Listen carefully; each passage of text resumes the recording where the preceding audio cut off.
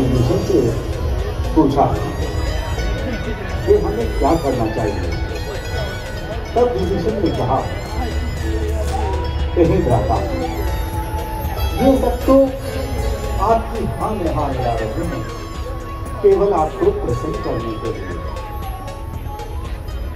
इस समय उचित नहीं है